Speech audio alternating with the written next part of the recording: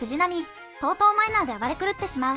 メッツ傘下のシラキュースの藤浪晋太郎投手がスクラントン戦の7回にリリーフ登板した。先頭打者に2ベースヒットを許すと続く打者には95.4マイル約153.5キロのフォーシームをぶつけてしまい1、2塁のピンチ。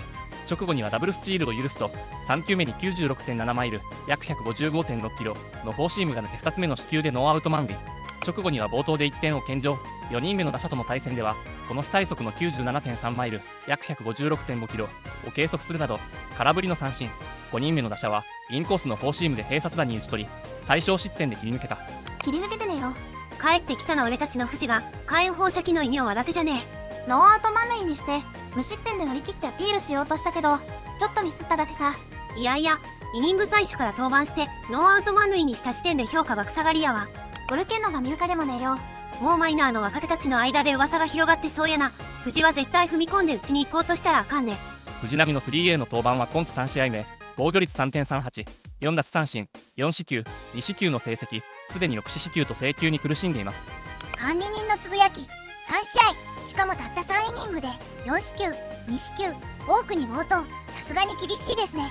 根本的に何かを変えないとさすがにまずい。かといってシーズンインしてるのでフォームの改造とかは無理ですよね藤波がメジャーでも暴走しているを面白半分で動画にしてきましたがそれは藤波のポテンシャルが開花すればメジャーで輝くかもっていう期待があったからさすがにもう限界かもしれません。阪神の時から何も変わってないな。ハートが極端に弱すぎるのが原因。デッドボールを一度やるともう修正不可能になる。いやそれならデッドを与えないために請求磨くやろメンタル弱いだかこうなんだかようわからん。近年は大した実績もないのに突然メジャーに挑戦するんだから普通のメンタルではないんやろな。他人のアドバイス聞かないとか極端なプラス思考とか言われるけどフォームは変えてるよな。請求が課題なのは間違いなく理解してる。ただ調子いい時のフォーシームが通用してることも確信している。その狭間でせめぎ合ってるんやろな。もうフォームを微妙にいじるだけじゃかんと思うぞ。元巨人の斎藤もサイドにしてから開花したからそれぐらいやってもいいかもな。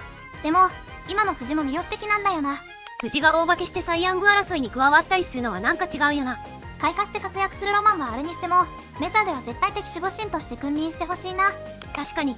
サイ・ヤングとか先発タイトルは山本ダル大谷。今永に任せておこう。管理人のつぶやき。藤波はシーズンオフに身長と体格が似ているダル塾か大谷塾に入って真摯にアドバイスを全て受け入れて生まれ変わることを期待します。ただ今の状態が続くと来季のメジャー契約はないので目先は去年後半のオリオールズスタイルに戻してシーズンを乗り切ってほしいです。野球が好きなみんなはポチッとチャンネル登録よろしくお願いしますのだ。とはまた次回の動画で会おう。